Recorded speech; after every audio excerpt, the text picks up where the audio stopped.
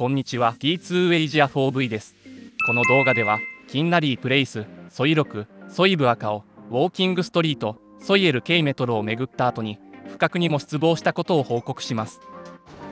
タイ7日目パタヤ5日目今朝の9時部屋で寝ていたところフロントから電話がかかってきて起こされました。というのも今日と明日の宿泊費を支払ってくれとのことでした。昨晩アゴダで2泊分を予約したものの支払いはまだだったとのことをこの電話で気づきました。それで急いでフロントに行き宿泊費を支払い9時半に再び寝ました。ということで今は13時38分です。ツリータウンで朝飯兼昼飯を食べることにします。このお店で食べることにします。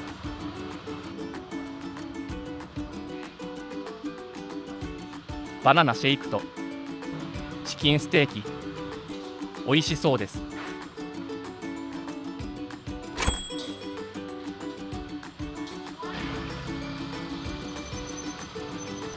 手持ちの現金が心もとないのでソイブア顔で両替します。こないだはなかった気がしますが今回はパスポートのコピーを取られました。これまでタイでは配車サービスはグラブを使用していました。別の配車サービスにボルトというものがありそちらも有名のようでしかも少し安いようです。ということで初めてボルトを使用してみることにします。またココパタヤではボルトだと売託が捕まえやすい感じです。ボルトの売託で移動中。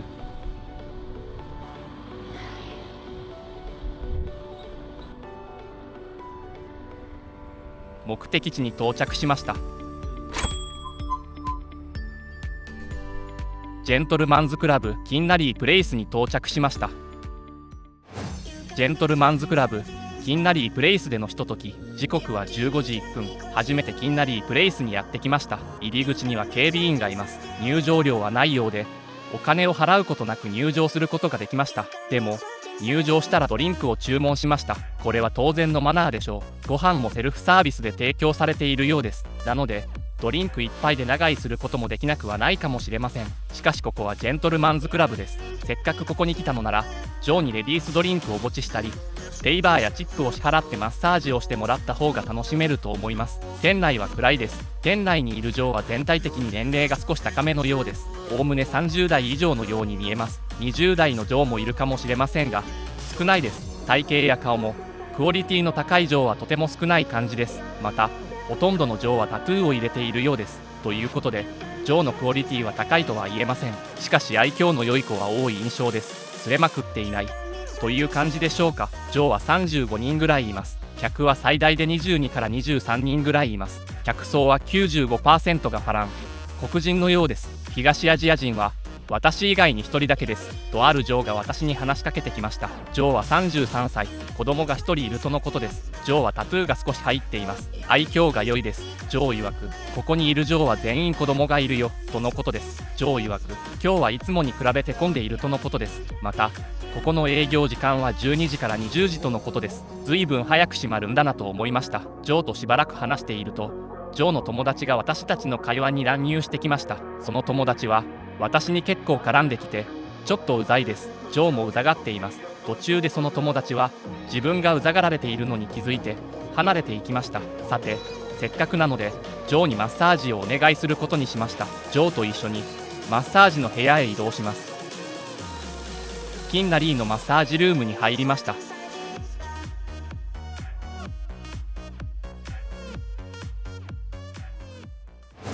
キンナリープレイスでのマッサージのメモマッサージルームに入りお互いにシャワーを浴びます。ジョーの体型は少しだけぽちゃっています。胸の膨らみは少し垂れています。胸の中心部にあるとても小さいトリュフチョコレートの周辺には少しシワがあります。ジョーはまずはじめに手によってマッサージをしてくれました。その後食物を食べるかのようなマッサージをしてくれます。そして馬が暴れるかのような本格的なマッサージをしてくれました。その後お互いに座りながら見つめ合う面談のようなマッサージをしてくれます。最後にカエルがひっくり返ったようなマッサージをしてくれました。マッサージが気持ちよかったので私は完全に脱力することができました。キンナリープレイスを堪能しました。キンナリープレイスの感想を述べたいと思います。私は今回初めて行きました。正直なところもう行かなくてもいいかなと思ってしまいました。理由はジョーのクオリティです。キンナリープレイスにいるジョーは全員子供がいるとジョーが言っていたようにジョーは年齢がいっている人が多いです。また体型もちょいぽちゃぽちゃが多い印象です。値段は安めだとは思います。長時間ロビーに滞在しつつジョーとワイワイしてもそれほど金額はいかないと思います。しかし私にはそういう欲求はあまりありません。キンナリープレイスをおすすめできる人はこのような人でしょうか。昼間はやることがなくて退屈している。ジョーのクオリティは問わない。金額を安く抑えつつ盛り上がりたい。私はジョーのクオリティと金額とのコストパフォーマンスを重視しています。なので私にはソイハニーで良いジョーを見つけてそのジョーにマッサージをしてもらうので十分かなと思ってしまいました。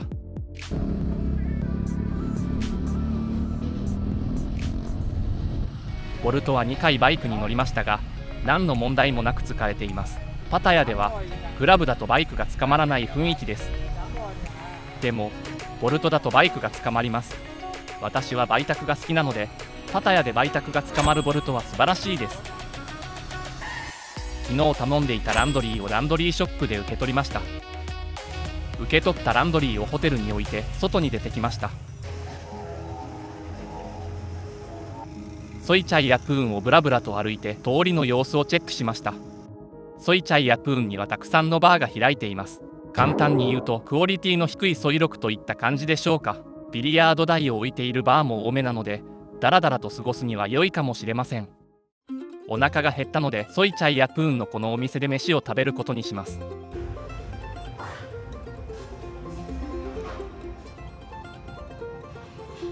コーヒーと鯛めし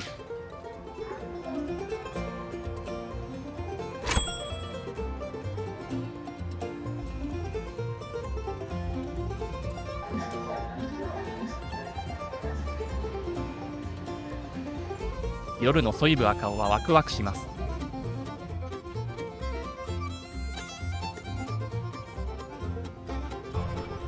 ボルトバイクで移動することにします。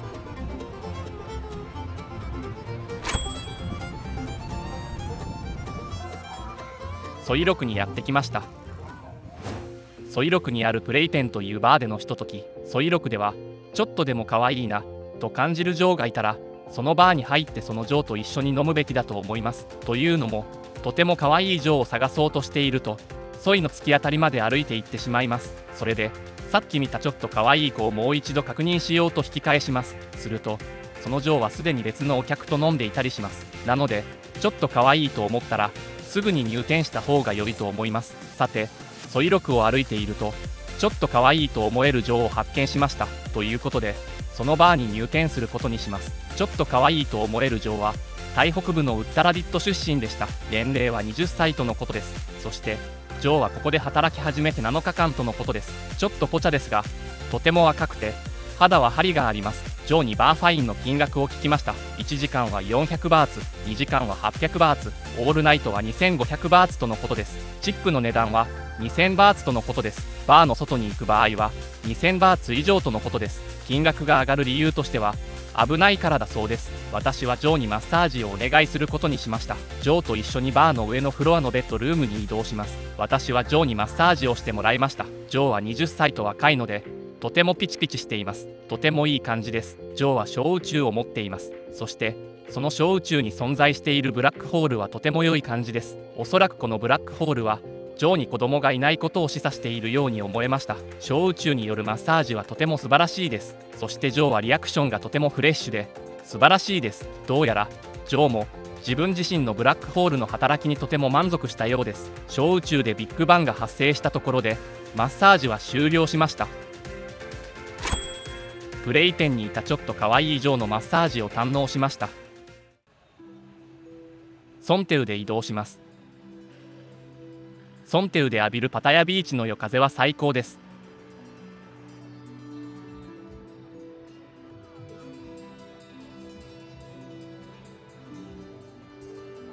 ソンテウを降車しました。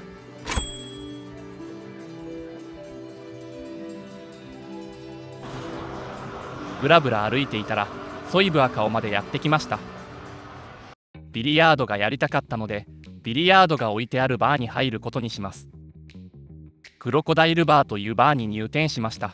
チャンビールをいただきます。スラッとしたジョーにドリンクをごちしてビリヤードを楽しむことにしました。ジョーはレディーボーイです。黙々とビリヤードをプレイしてくれます。ジョーはレディースドリンクを一瞬で飲み干してお代わりを言ってくることはありません。素晴らしいジョーです。ビリヤードを7ゲームほどプレイしました。クロコダイルバーでビリヤードを堪能しました。ボルトバイクでウォーキングストリートへ移動します。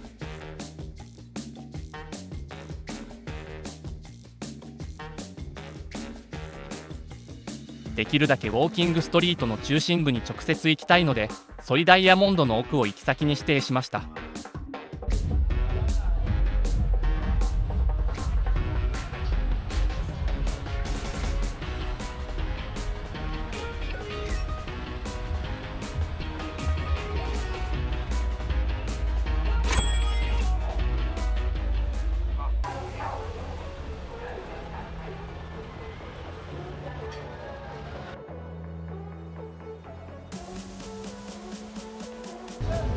ぶりのウォーキングストリートです。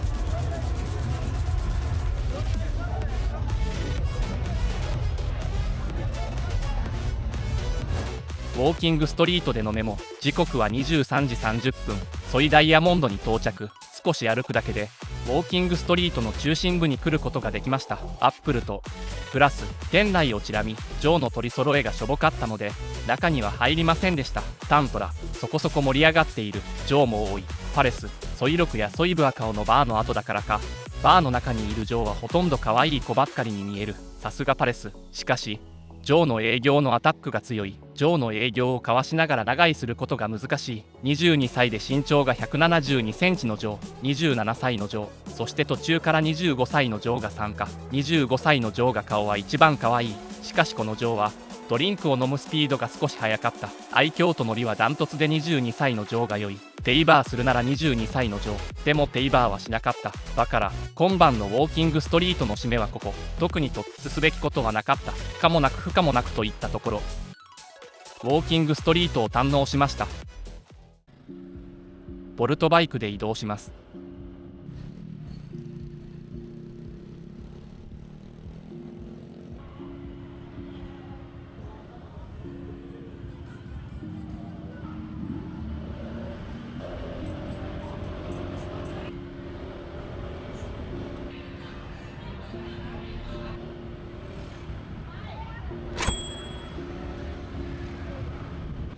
ソイブアカオに戻ってきました。ちなみにこのジュジュというクラブはディスコだそうです。ソイ LK メトロでの鑑賞タイム時刻は1時57分。シュガーシュガー店内は多少盛り上がっている。ステージの作り方がいい感じ。長居がしやすい雰囲気です。日本人客が少しいる。ファランと日本人客のグループがリンガベルを鳴らした。ここのリンガベルはステージにいる上だけにドリンクを出すみたいです。明日の深夜にタイを出国します。なので明日はあまり夜まで遊べません。それで今夜が遅くまで遊べる最終日でした。だから今夜が実質のラストナイト。年のせいか最近アルコールに弱くなってきた感じがします。そして深夜まで覚醒できないことも実感しつつあります。しっとりとラストナイトが終わってしまった。あっという間に旅行期間が終わってしまう。もっとパタヤを遊び尽くしたいのになんとなく旅行が終わってしまう。いや実際のところ結構遊んだのかもしれないでも現実の結果よりも私の欲望はもっと強いんです。もっともっと遊びたいでもキリがないもっともっと欲望を満たしたいのに完全に満たされない状態に失望していますしかし樽を知るという言葉もあります。だからどんなものでもある程度で満足するべきなのは分かっているつもりです。でもパタヤにいるとそんな考えは吹き飛ばされるような気がします。もっともっと欲望を発散させたい。でもできなかった。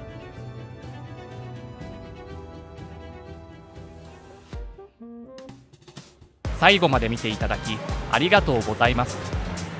旅した気分になってくれたら嬉しいです。